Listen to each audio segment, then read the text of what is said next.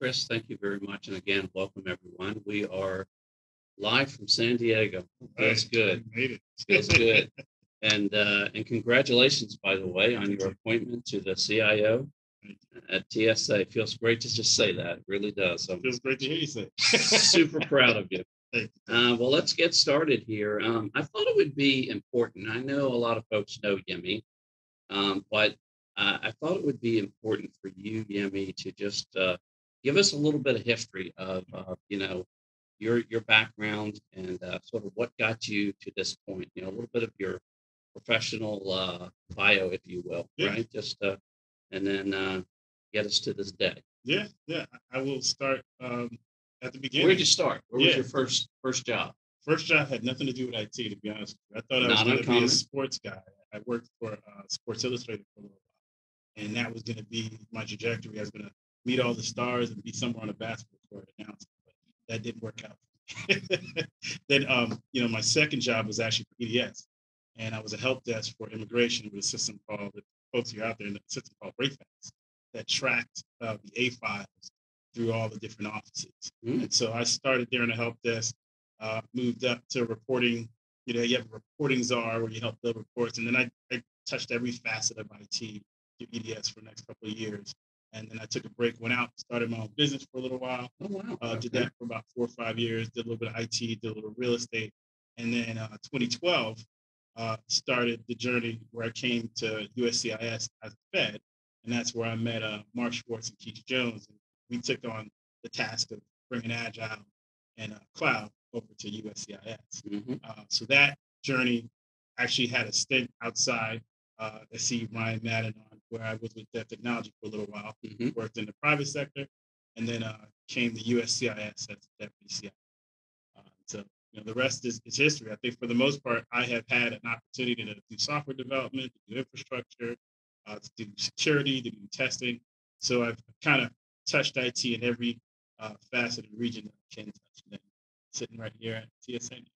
Interesting. Uh, a little bit of zigzag, which is Yeah. pretty typical, right? But a lot of uh, origin and lineage uh, back in the good old immigration days, which is interesting. Absolutely. Did not know that. So, uh, uh, wanted to ask you about sort of your first observation, right? You've been here for 60 days, right? Uh, I guess you found the bathroom in the conference room, so to speak, as I like to say. And uh, just what's your what's your first impression so far? Well, it's a big building. I've only found the bathroom that comes from the third. Yeah, yeah. I, I, hear it's a beautiful building, and I hear it's empty, Oh, but it's you know, that's a whole other subject. No, that's a great building. Yeah, I can uh-huh. tell you observation. One of the biggest observations is that uh, IT at TSA is is vast. You know, when you look at IT, a lot of us think about you know the cloud, about workstations. You know, we think about software. But where TSA is different is looking at uh, operational technology and how that in- integrates with IT. Uh, also looking at uh, industry, not just industry as we work with industry, but transportation industry, aviation industry the the folks that work in between the airport and the airline that, that have supply chains and it, it's such a vast mission that there's so many components to it and IT weaves in and out. Right now we're working on cyber not just internal but external how we look at that and what's our responsibility. So TSA is, is I mean when you say it's a large mission it's not uh, you don't take that lightly it's a very large mission. It's of Right. People often think about the airports and the officers in the airports, and it's much bigger than that. We might expand on that a little bit. Yeah. Um, want to talk about the administrator's intent, which I always thought was a sort of a, a, a, a full statement. It's a well-written document there, and uh, you know, how does that conversation go with the administrator uh, when you onboard? And what does the administrator, quite frankly, said? Hey, these are the things that we need to make sure we hit. Know we got the intent out there. I'm sure there was another conversation with you, Yeah. a little bit more fine grained. yeah I- I- Sure. one of the things that the administrator talked about is really looking at, at cyber, uh, defining what cybersecurity is. And when you look at cyber, when we cyber, you know, hashtag IT, because a lot of folks say cyber and mean it to be security, but cyber for us is different because when we start connecting operational technology, let me just define it a little bit. If, when you're going through the airports and your bags get scanned, that's operational technology. So how we connect those, how we monitor those, that's something we really look at. And then how do we lean into innovation? How does that innovation start from internal and cascade out? And that's help lead innovation across the sector. That's one thing I mean, the administrator is very impressive, smart guy. Really wants us to all look at how, how an innovative culture will help move forward. And then second to that is it's how do we look at cybersecurity on both sides, internal and external, and what does it mean for us to be able to say we can help protect the security of transportation because cyber is starting to be a larger part of it if if someone is going to attack one of our transportation modes, they're going to do it probably electronically first. So how do we protect that, which then protects our physical assets? So, so one of the things he said, he said, take a look at that, come back and let's see how we approach that. I'm curious, uh, I'll never forget somebody telling me, uh, when they were over at the State Department as a CIO, Hillary Clinton was appointed over there and she was getting all these folks fussing at her about the mobile technology and turned around to the CIO and the onboard and said, would you please get this damn mobile technology solved? I'm just curious if there's been any of those type of conversations. as well, We- have been talking about that. So the it's mobile or Yeah. whatever. I think I think it's mobile is one of them. Yeah. So so if you're looking at an airport, uh, what you need to understand is an airport is is an integration hub. So you have city, you have the government, and then you have airlines. So all of us are coming in with different networks, different needs. So the question is, how do we use mobile for our, our TSOs to operate? How do we use mobile to help uh, passengers? So where we're starting is through security.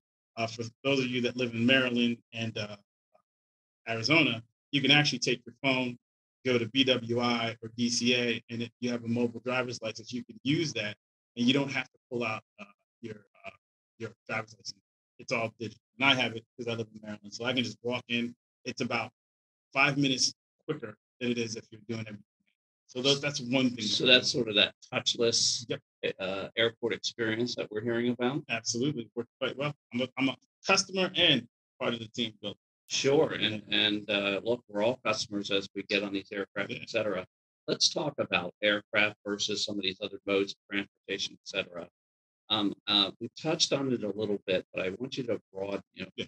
give us the footprint of what TSA is responsible for, and therefore what you find yourself sort of uh, dealing with in regards to support. Because I know it's vast. It, it- it is vast. So uh, when we say aviation, uh, aviation goes anywhere from the actual plane uh, to the crew working on the plane, to the crew working in the airport, to the passengers coming in and out of, out of the airport. Now we're looking at how the airlines and oh, oh by the way, supply chain. So our reservation system is also part of the supply chain Mhm. into that connectivity, into that ecosystem. And that's just aviation. You're looking at rail, you're looking at pipeline, you're also looking at um, metro system plus local transportation like your, your WMTA, things like that. Trying to make sure that as passengers travel and as cargo travels, is traveling. So um, you say rail, that makes sense, right? Then you say pipeline. Where does pipeline fit into that versus, okay, are you dealing with the electrical grid too? And where does it end? Kind of thing. Are you dealing with all the critical infrastructure sectors, right? Never Yeah, wonder about that.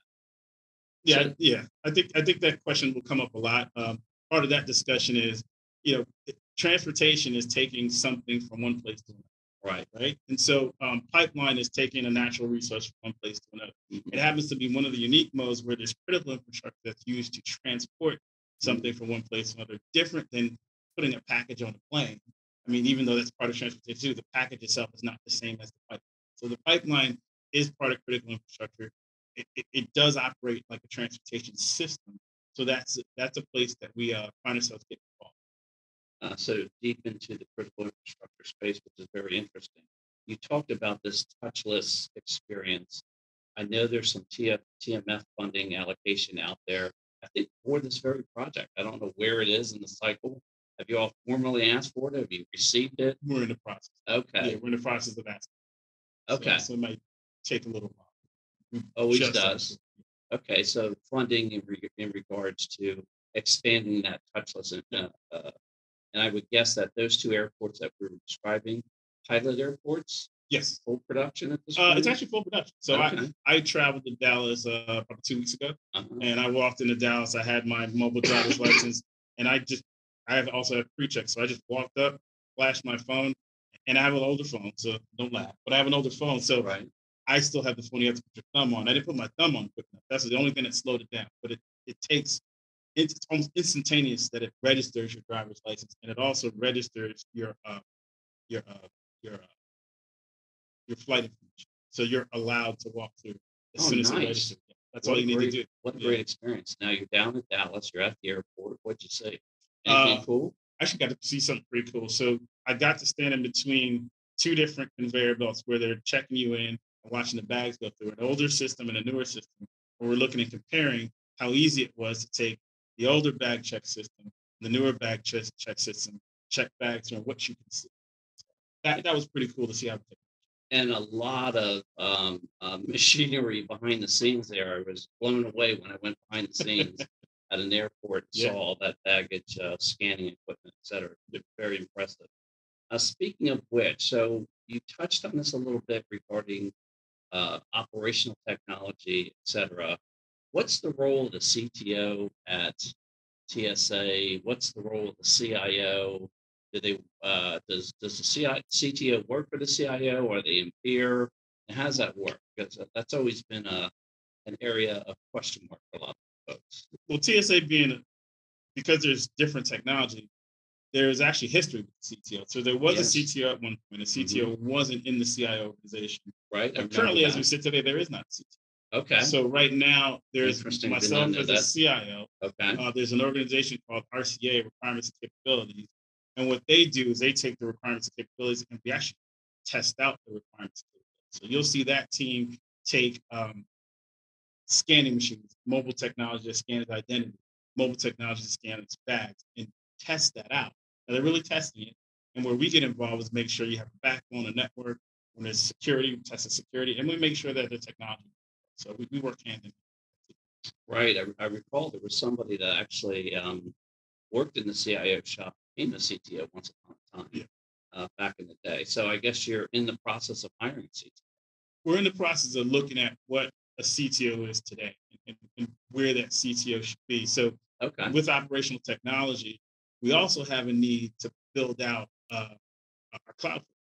We also have a need to connect operational technology, information technology, and really expand a lot of innovation. So we're talking through internally what that would look like. to have a CTO. Right, because there's an incredible amount of technology on the floor in these airports alone, right? And trying to get the connectivity together. It's not just a, uh, not just, but a bunch of desktops and Right. mobile devices, right? You have these huge scanners, et cetera. I mean, that's always been a, a big challenge there. Um, um, it sounds like, from what I can tell, the majority of the, let- let's call it pure traditional IT mainstream functions are inside of uh, the CIO, under the CIO's Yes. jurisdiction. Is that right? I know the air marshal, some of these other things were kind of scattered about there, uh, so to speak, not scattered Right. about, but uh, running autonomously. All that's pulled under the CIO's organization for the most part. For the, yeah, when you say pulled under, so um, for IT, if you're going to deploy or develop something, you know, you're running through an ITAR process that we see everything that goes through. Sure. There are program managers that are not in IT that manage the delivery of it, but we're still. And Mhm. what we're looking at now is how do we, how do we enable folks to continue that and have IT still involved? Because as large as TSA is, it, it may not be reasonable to say everything just sits under IT because all we're doing is moving bodies and money. So Right. right. now is how's that ecosystem work well, stay innovative. We, we're, we're pressing towards the similar version of Agile. Uh, we're pressing towards being able to use the same platforms and still federate and democratize uh, how we deliver.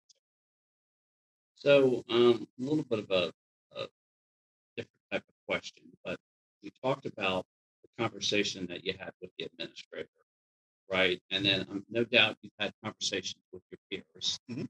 No doubt you've had conversation with your employees, you know. And sometimes those things sort of line up, and Yeah. sometimes they're sort of like, wait a minute, you know, that kind of thing. Uh, just tell us about those conversations. Yeah. What's your observation from the feedback? 'Cause I know you're in sort of learning mode Yeah. right now. You're you're out there in the field, uh, discovering and, and observing a lot of stuff on the ground, which is awesome. You're going to take a big tour Yeah. of the yeah. airport here in a moment, which will be awesome. Um, but you're also reaching out to your peers, and Yeah. obviously you're talking to your employees. What do you hear? I mean, the biggest feedback I get is how invested folks are. I, I'm amazed at how many folks have been there since the beginning. So you know, it's a, it's a passionate group of folks.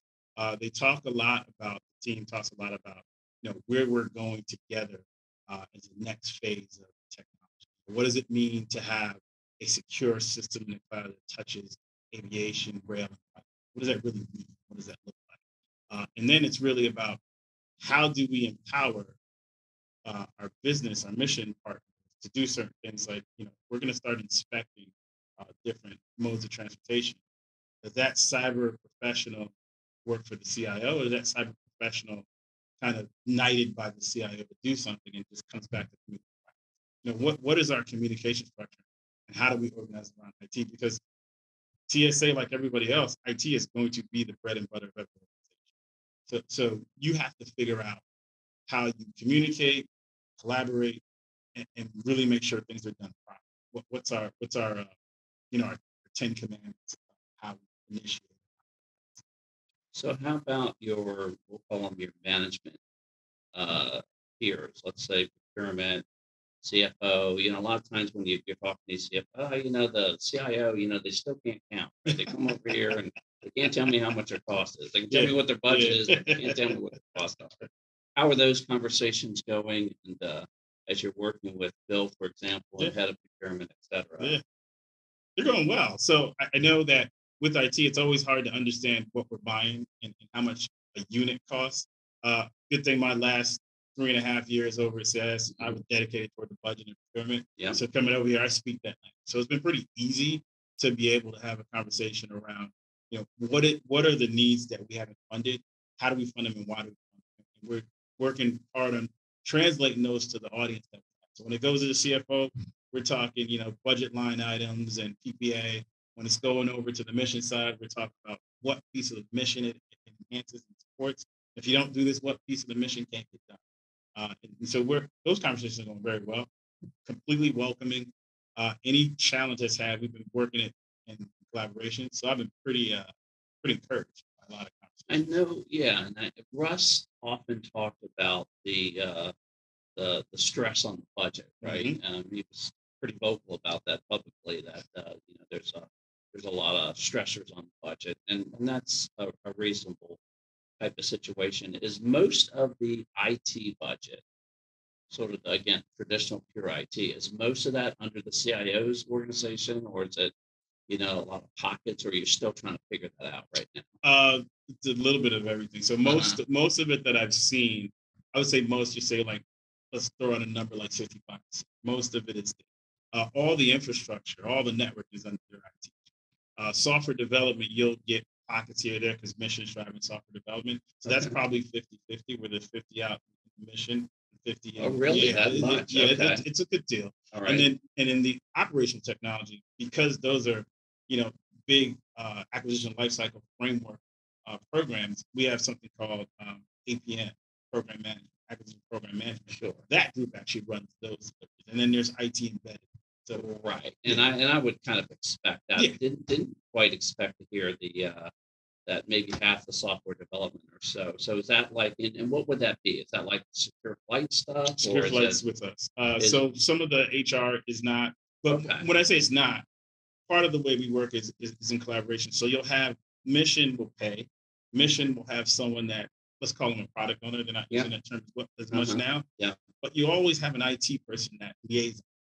So it's not like it's out of touch for us. Of it- it- course, it's- of that- course. It's being mostly done there and paid for there. We're helping guide through the process. We do use an SDLC. We we ATL everything. So it's, it's a it's a collaboration. Right, What we're so- looking at, what does it look like if some of that, let's say we built the software. What does it look like Uh-huh. if everything ran through the software? That's part of the discussion. Well, first of all, thanks for putting this on. I really appreciate it. And uh, congratulations again, Yemi. Well deserved. Thank you. So my question is really around cloud, and I know the different components are different areas of maturity around cloud adoption, and you know that better than anybody. Uh, but how are you starting to look at that? If you've even had a second to think about it yet, I know it's still very new, but um, in terms of different data centers where TSA is doing work and and different, you know, uh, cloud environments and where you see that going forward. So, so we're definitely pressing in, into cloud. uh, what we're looking at all kind of simultaneously is looking at you know multi-cloud. So how do we what assets do we put in which cloud? And then as we're putting them in the cloud, you know, we, we want to make sure that we walk in doing cloud native systems, and if we're migrating, we're migrating and adapting to the cloud. Uh, Yeah. So the pipeline has been part of our, our biggest conversation. What are the tools in the pipeline? How do we operate those tools? So there's an effort looking at cloud and what are our you know low hanging fruit quick wins. Uh, we actually just deployed something in Azure. Uh, I want to say, oh, actually, it's coming in the next week. It's going to be deploying into Azure. And then Great. what does it look like? Uh, because we also have an AWS environment. What does it look like if we're starting to deploy into those two different environments? Can we have a similar pipeline that makes sure it's automated from end to end? Because we're going to do it, you want to minimize as much of the manual input as you can. So, uh, you know, that conversation came up really, really early as I got there, and it's been a, ongoing conversation. We even have a, a small community practice within IT that we're pulling other folks into now. So if anything comes in new, you know, it's cloud first for us, right? I remember from past history, there was a, um, you guys have a pretty complex environment, right? You've got some of this stuff in the cloud, right? Uh, you had some, I think, in, and I'll call it sort of more of a, a vendor cloud type situation. I think that's some of your HR stuff. Big user of the, uh, the headquarters data center, Mhm. uh, uh, environment, right? Which I think you've moved most of that stuff out of there, if I recall, or uh, a lot of it in, in the data center too. I see some yeses and some nos there. But I'll, I'll let you guys explain. I'm just trying to observe here. But then you also have Annapolis Junction mm-hmm. and, and sort of, mm-hmm. so you have a lot of hardcore, heavy duty, high value assets on prem, right? So you have a sort of a, a, a, a, a true hybrid, if you will, in a, in a, in a unique kind of way. Any observations of that or what's your thought process there? What's sort of the long-term plan or, or is everything, hey, look, things happen certain kinds of ways for various reasons and we're okay with the way things are right well, it's going to be form fit. So, you know, our environment will be probably use a little bit of everything. So, similar to most other areas where you have something that's pretty secure and, and the data you don't want right now to go in the public cloud, now. uh, we'll use DC, at one point DC3, DC15. Now we'll, we'll start to leverage Equinix Okay. uh, for right, that right, right. because you get to you get to have your own cage. Uh, a lot of that networking gear is still in DC1 because we're all going through uh, HSN, HSIN. Yep. Say it right. HSIN now that we're running through. So we're still going to use those assets, but for the most part, if we want to have something that's quick to impact, uh, we want to go through either we're going to use SaaS, PaaS, or, or IaaS. That that that's that's where the focus is. But things that we know, you know, right now, if it needs to be encrypted at rest, and, and we're not ready to do that in the public cloud, we can use uh, we can put a cage in that. So we have options across areas. So the goal is to have you know robustness and communication and speed. So you, you really do have some, some bench ready kind of solution threads. You talked about SaaS, PaaS, et cetera. So tell us a little bit about sort of where you all are on that journey. I know you are big SaaS users, if I remember right. You picked some platforms, et cetera. How's all that going? What's your observation so far? Yeah, so we have a we have a good sized footprint in uh, Salesforce right now. Uh, we have uh, also a footprint in ServiceNow. Mhm. Uh, so I mean, from a SaaS PaaS environment, we have 365. I mean, that's bread and butter, right? So everyone has that, but Mhm, we're looking to leverage that a little bit more on the Power App side. Uh, mhm. so I know you know most folks use the productivity. We're trying to see what happens. Lean into the Power Apps. Uh, let's use Power BI a little more and make that kind of our our standard for business intelligence. Uh, so we'll use that ecosystem. And, and as new things come up, the question is, to, can it go into SaaS or PaaS really easily? If not, then what do we do with our architecture and, and where does it lie? in Is that potentially sort of your first port versus organic build, or is it just, uh, It you know, just going to depend on Yeah. sort of the, uh, the, the, the, need of Right. one versus the other? We want to Are you all doing any organic build these days? Uh, we are doing some organic builds. They're they're newer, so so Uh-huh. things that we're starting now. Uh, matter of fact, there's an organic build going on now, uh, and it's really in a concept. So there's there's no code. This is really what is it that you want to we're working with fantasy. Is there something that you want to need? How can we respond? And, and we try not to pick the platform. We want the the the requirement to help us. It drives us, and we find what the design is, then we figure out what platform aligns to the design. I think secure flight is kind of a ultimately an organic build, right? It's a Lego blocks kind of. Right, that's been around. Yeah, I know it yeah, but it is I is know organic. has, But it isn't sitting on a platform No. that's, you know, And the cool thing about that is that there are federal developers that we have. Really? Yeah, actual federal developers. wow. Yeah. So I get That's the call back at uh, Bill Macklin and say, "You're not the only one." You heard it here. We got a question up here. I'm not sure, Chris, who that came from. But uh, what do we have here? What are your thoughts on accelerating digital transformation strategies as a shared service, ready-made solution, for common need for the digital workflows? E.g., data analytics, cross-functional enclaves like industry airlines, interface with TSA. I'm not sure if they can see that question as I'm, I'm, uh, reading it out here, but I know that uh, yes. yeah. Yemi can. So Yeah. uh, yeah, spin that record back. Yeah. Tell me what it says. Yeah. Well, let, let me let me unpack it a little bit. So, uh, digital transformation for TSA uh, comes in a very you know information is really the staple of it, right? So because we're securing modes of transportation, uh, you know, information and, and analysis, uh, intelligence, uh, data is something that we're going to use a lot of. Sharing that data is tricky because there are many different levels that we'll share that data. So I think it's more about integration than it is about a single platform. And because there's so many areas where data comes from, so if you think about, um, I mean, let's use an example, the pipeline, right? So you have the pipeline breach. The pipeline exists in a municipality. Uh, the pipeline communicates with different vendors and suppliers, some that are small business. You know, our focus is getting that data to the right person in the right place quickly, more than it is about having a platform. Um, you know, shared service, I, I think that depends. Today, again, it's all about trying to make sure we collaborate with multiple entities really fast, really quickly, and have the same uh, objective when we do it. So, so speed to security is what we need. Uh, so we probably won't look, you know, platforms and shared services won't be the first thing we look at. Uh, but common digital workflows make sense. Using data analytics across the different en- enclaves makes sense, but they could be initiated on different platforms in different places. Like, for example, if I'm sharing it with an airline, the airlines are extremely mature. Uh, you know, we're not going to force them to work on our platform or use our service. We just need to find a way to integrate and share information. And and so a lot of API type play there Yeah. more than likely. And that's the easy. one. Everyone's using it. Let me spin it around. Uh, again, talking to your peers, you're talking to your operators. You know, what, what's the sort of top ask? Hey, one more faster. You know, what, Yeah. what, what is it? Is there a common theme out there besides the obvious one, More, right? more That every faster. CIO gets asked. yeah, give me my ATO in a day, want more faster. I think that's what what I hear a lot of. Uh, so being that security is in the name of, of the component, we take it very seriously. But at the same time, we're trying to we're trying to measure speed to to um, production as well as making sure we have the most secure system. Because we have so many things that connect into it.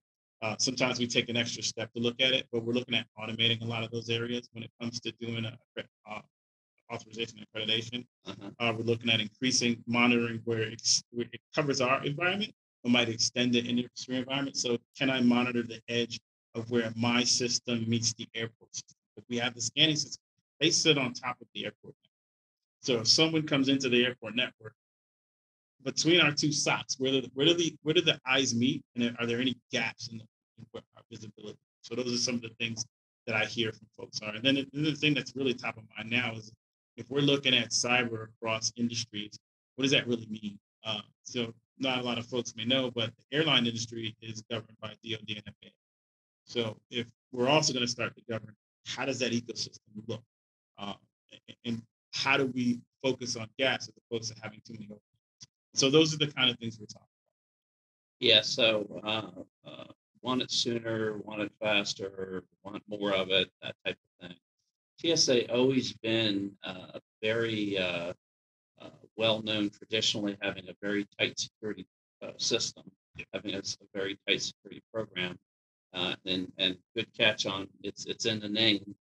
Um, and uh, and of course, w- w- when you're doing that, you know, ATO in a day uh, you know, maybe isn't in the genre, right? So uh, I totally get that. That looks like we're trying to automate that, make that better. Yep. How about uh, when you're talking to the employees?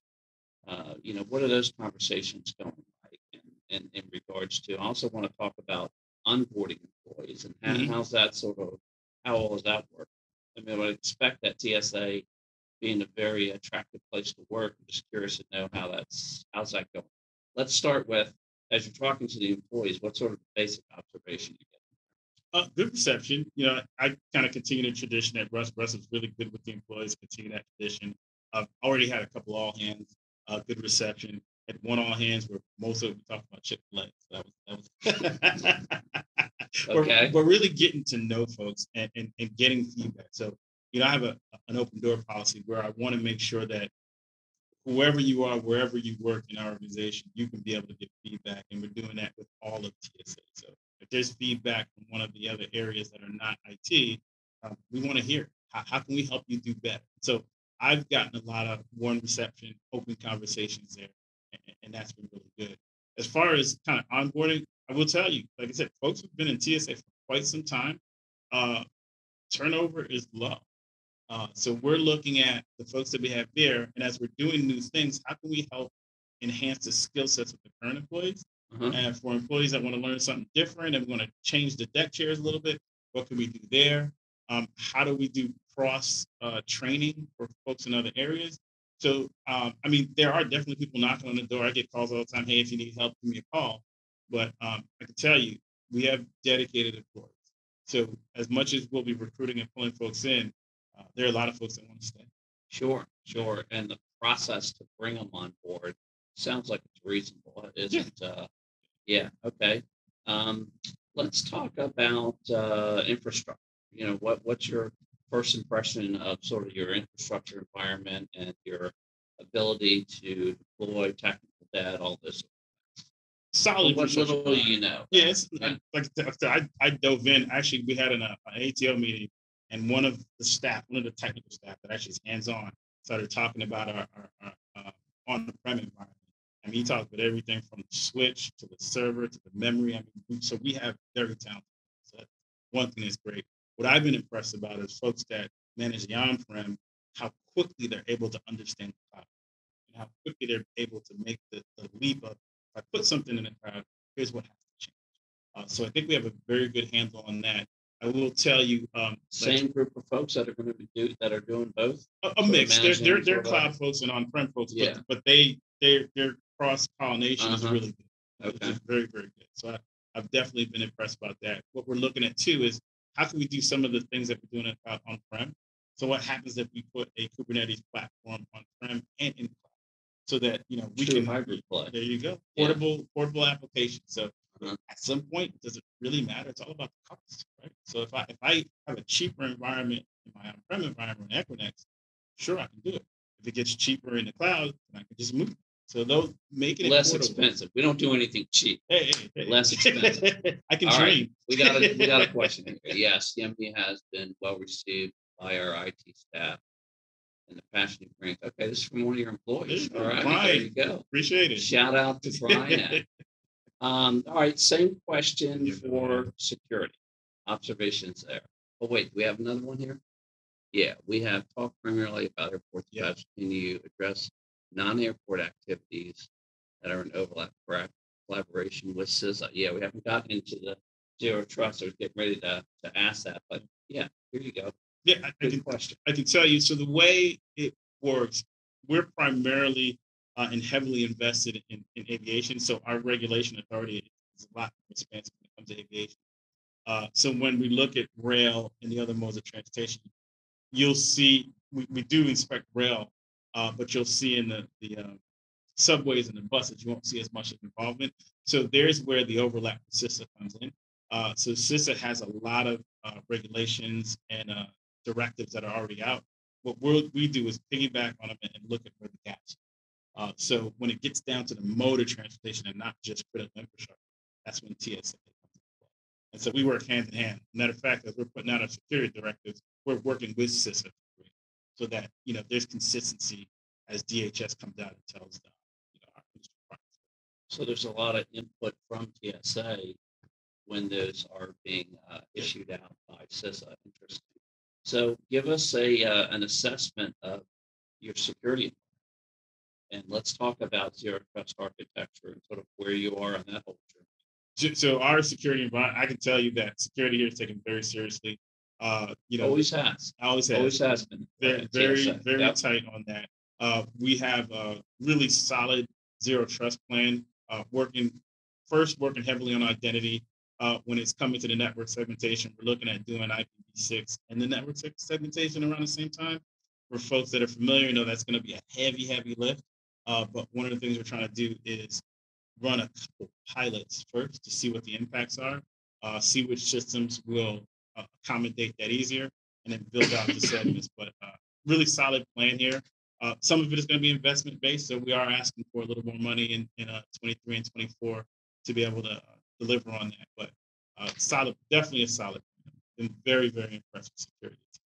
And as far as, you know, the, the, the ability to, to do data security and data is, uh, encryption at rest, et cetera. So where are you on that whole journey?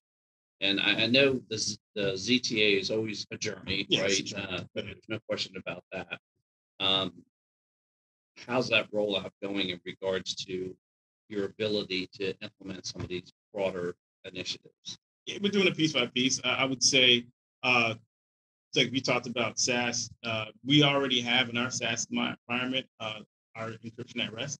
So I've seen SaaS all over the government. There are very few that implement encryption at rest. So I was impressed that that's done there. Uh, we've been taking the identity portion and looking really closely at that. You know, how do we take each system? You know, having a multi-factor authentication for everything. You know, to make sure that we're managing identity. What are we going to do when we roll out uh, AD with our new uh, uh, our new environment. And so looking at those things and testing them out has been really the way. Uh, we- we're doing them in phases, and in 23 we have a, a pretty decent pilot that we're going to do. And once that works, we'll roll everything out throughout 24. But like you said, it's a journey. You, you can't do it at one time uh, because it's. I mean, most places not possible. Yeah, and and nobody can afford it, but the Right. reality is just the, the the horsepower to implement all that. One of the things I I, I was uh, interviewing uh, the CIO at uh, it was the Army Corps of Engineers, and he was talking about the culture around the ZTA and, and, and just the adoption rate uh, Yeah. from, from just a pure cultural standpoint, not just with the sort of security employees, but all the other work that has to be done around the ecosystem, uh, the operators, et cetera, which I Yeah. thought was a really interesting thing. How about same question, software development? Sort of, what's your sort of assessment of your software development? I- will say so. Cyber is is really the hotter ticket here than software development. Uh, so you'll see uh, more platform development and SaaS development here, where software development comes in uh, is where we're When I say software, just everything. just- yeah, let's just say Yeah. business applications. okay, Okay. right? You know, just whatever it is, whether you use a, a low code, no code, Yeah. or you're doing sort of organic, you know, open source builds. So what, what's your assessment of, of what you're dealing with? Yeah, I would think I, I'd come. I've come where we're in an incline on, on the curve of software development. You know, there are so many solutions out there that have been around for a while, where everything's looking for an upgrade, where everything's looking for something new, or if we've done something manually, it's really the time now. Like you said before, it's what we're really looking at is do we have the funding to do it? So we have this uh, system. It's also in Salesforce that we use to track all the IT requests.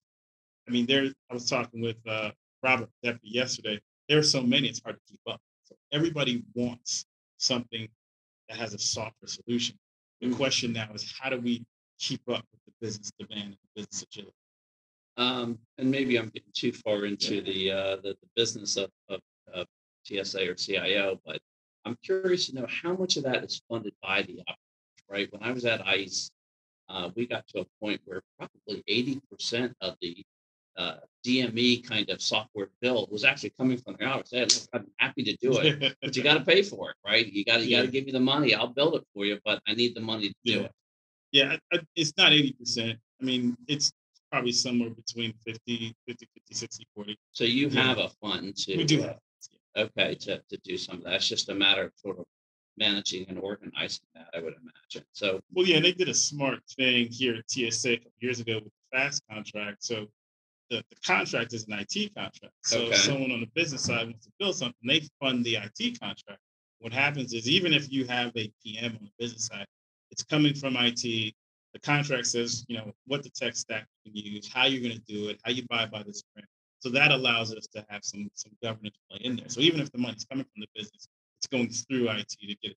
Sure, they're cutting an order on FAST, and then at that point, the rest of the apparatus, sort of the ecosystem, the governance, the checks and balances. Uh, same question on procurement, uh, from, from just, uh, the ability to acquire goods and services and do it rapidly, or, you know, uh, including things like, hey, we have, we've got FAST, we've got all these gorilla contracts out there, and, uh, they're all we need to pull in, or is there new things, or, you know, just observations around that? So far it's been been uh, sufficient. I, I can tell you FAST. I, I'm impressed with how FAST works because you're able to say, I want something new, and I want to be able to to to procure that here, and I can do it quickly. Uh, you know, I, I probably need to sit around a little longer to see how our move into cloud will be with the current contracts we have in play. Mhm. Uh, so far, I don't see any barrier. We're moving pretty fast without having to stop. Uh, so, but I, I probably need a little more time to get a full analysis. So let's talk barriers. That was one of my questions. Sort of what, what do you see? Obviously, funding's Yeah. always, one, yeah. right? Only things can, can get throttled in regards to how much funding's available. But sometimes, you know, you, you get a hundred million dollars and then you can't execute it, right? Because That's not whether it's Yeah. people or the contracts to do it, et cetera. I think FAST, if I remember right, isn't that towards the tail end right now? it You're- We're gonna You have to gotta do some. re-up It, it's on not all at the same time. We're gonna have to do some. re- Okay, you heard it here first. Um, but barriers, let's talk about barriers. And I- so what, what are sort of the barriers for you all to sort of go, go, if you will? What are sort of the general ones besides? Yeah, to, to one of the questions earlier, I think what we're looking at now is how do we start to homogenize some of the tech stack? Because when you're developing in every mode and every language, uh, it slows down security authorization. It, it, kind of hinders our ability to monitor. So, you know, our discussion now that we're having internally is what are our core technology stack? What's our core platforms that we're going to use? And how do we rinse and repeat and go fast? And how do we uh, the term we use, shift left. How do we start engaging with business farther to the left so that we're designing better together, securing better together, and we can take that template and just kind of 10x. And, and I would say we're not fully there, we're getting there, we're talking about it, but I think that's a barrier to speed uh, and delivery. Simplify. Yeah.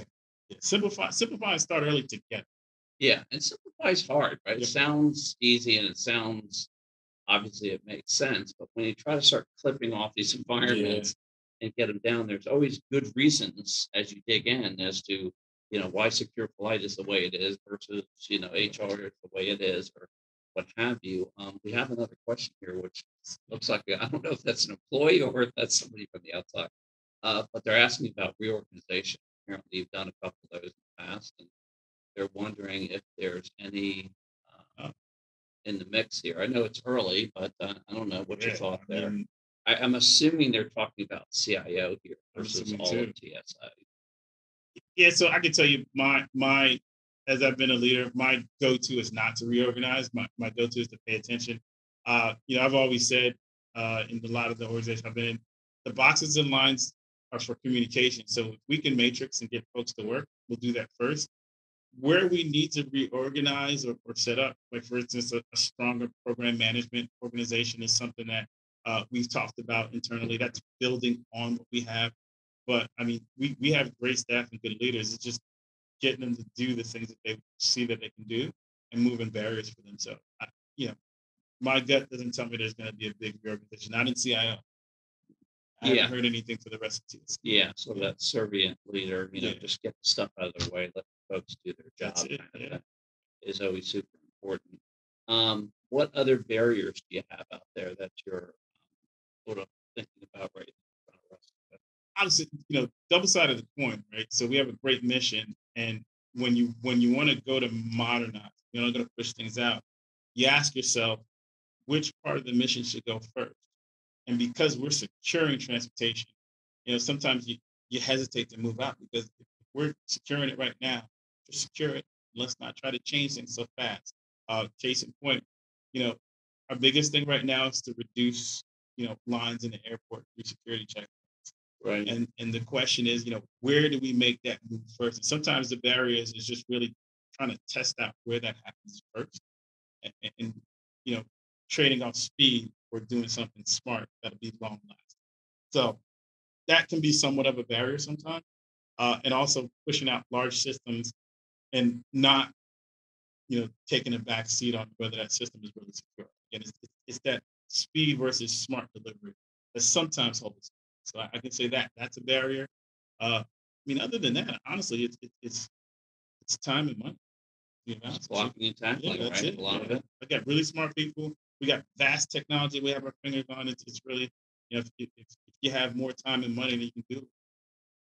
Um, we touched on shared services. What's Mhm. your thought on that? What's the sort of going rate on uh, just uh, leveraging shared services across the ecosystem? Or, or you, you guys aren't completely autonomous by any means. Mm, no. Uh, you've made smart choices along the Yeah. way as an as an agency. What, Yeah. What's your thought on that? It, it depends. I mean, there's some some um, vehicles we use at a DHS now, uh, and, and like you know, some of our high side, obviously, we use shared services there. It Of works. course. Uh, um, you know, it's you always want to control your own destiny when you want to implement something with speed and has a lot of variability. So, you know, you try not to look for shared services there. But, you know, honestly, it really depends on the fidelity of the service. Uh, you know, how much has been tested, you know, cost is a factor in there as well. And then, you know, what problems. You know, we're open to whatever's the best thing possible. But where we can control our destiny, we're usually going to try to press.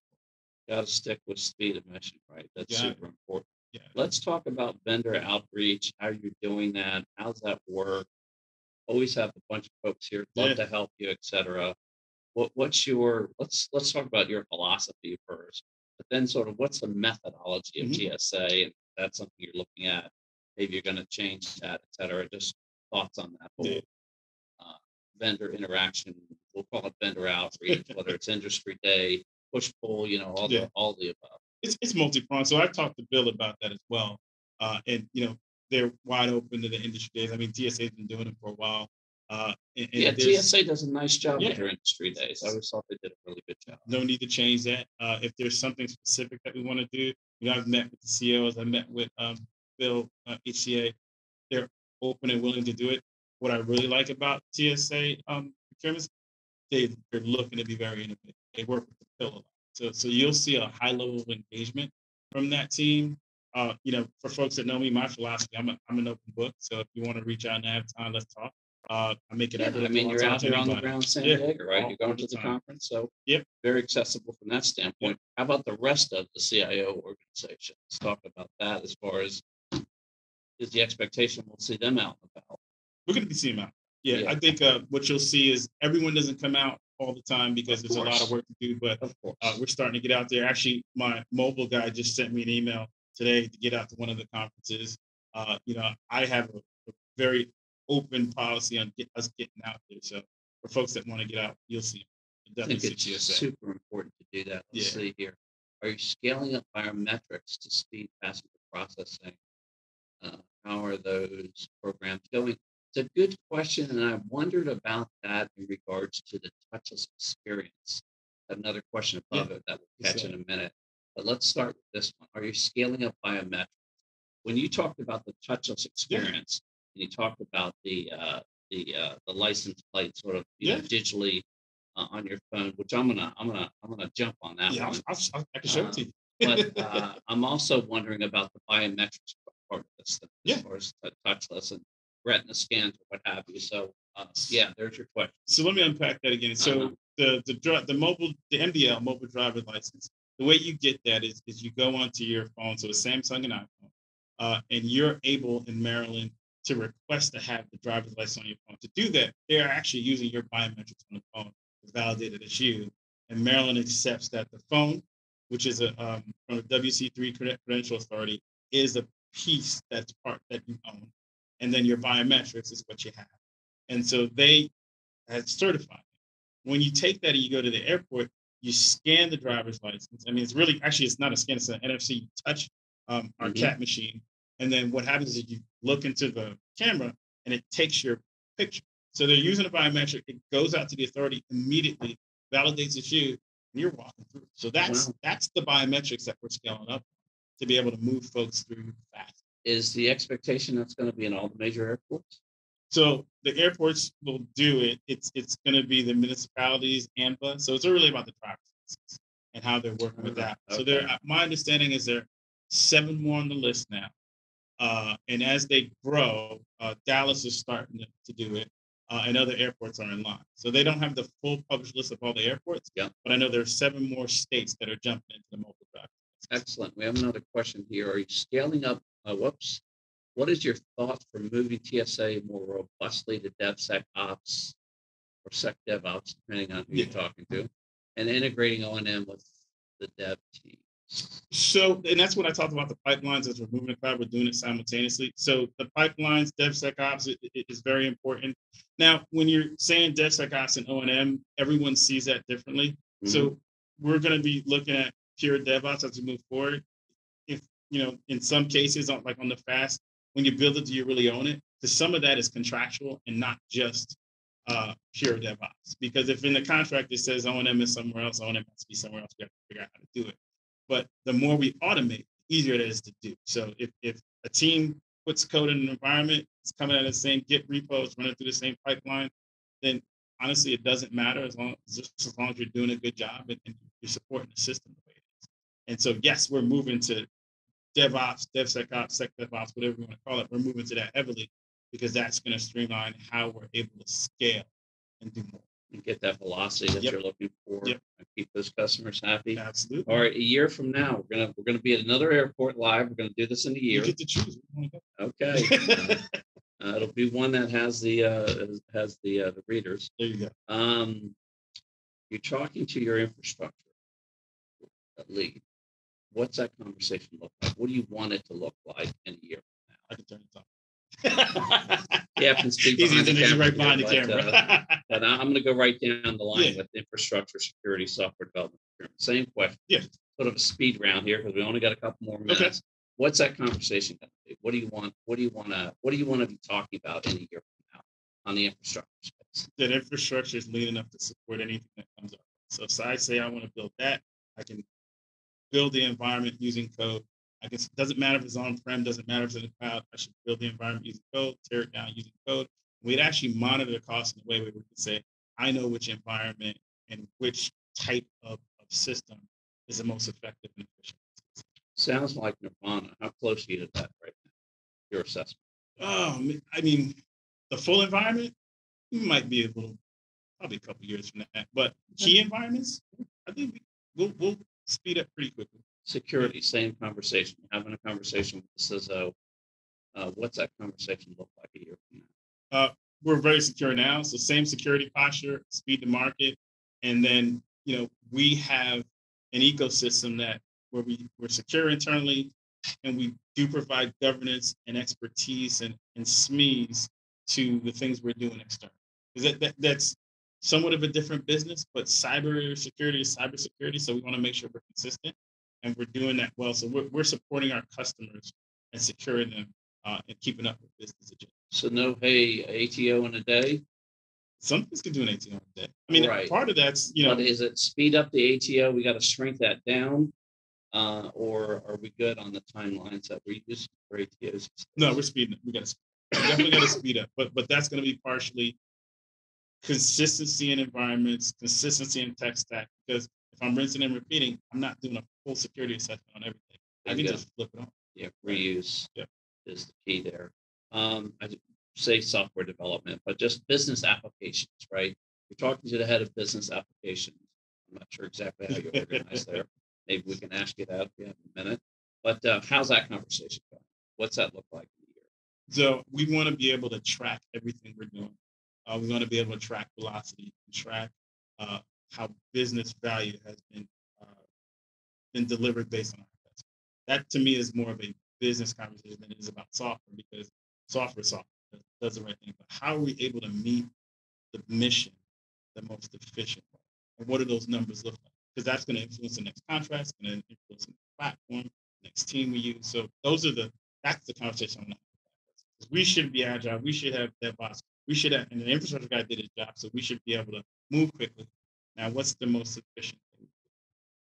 Uh, procurement, what's that conversation? If you're talking to Bill in a year, what are you all talking about? at that point? What do you want to be talking about? hopefully FAST uh, has evolved to something you know it's got to be the most innovative contract in, in dhs government. so we'll be doing things that no one else has done and be able to procure agile services in, in a new and, and kind of cool way uh, the other thing Is that what FAST is, agile services? Agile or is it services, yeah. Other stuff. it's, it's just agile services I, Okay. I think on the on the uh, on the commodity side infrastructure and, and the commodity side you just want to have flexibility uh, because those are commodities. We want to make sure we have access to them, meter them, that they're their best cost. But on the on the uh, software side, when it comes to contracts, we need to be able to to do things well and, and to be innovative. Because buying agile services is not the easiest thing. Because you know, it's buying sprints better than buying units. It's buying velocity the way to go. So you know, getting uh, feedback from industry to figure out the best way to buy. Top three priorities over the next six months for you. Just aggregate, you know, Yeah. you're, you're hearing from your customers, talking to your employees, Yeah. obviously the administrators, uh, giving you some direction. Headquarters probably trying to give you some help. Uh, what are your top priorities, top three priorities Uh, for you and for six months? yeah, cyber is cyber is definitely the the, the top. Uh, Cyber. cyber, big cyber, cyber for the industry and cyber to make sure we're moving cyber a little bit leaner internally. Okay, So cyber, you know, Yeah. both sides of that, Got of it. that coin. Mhm. Uh, I would say making sure that that uh, cloud migration is is you know kind of moving up on a exponentially exponentially higher scale. So we're, gonna the curve has to go up. Uh, so as we're because as we do that, we'll have more flexibility. And so moving that forward. And, and then I would say the next one is just uh, more and more collaboration.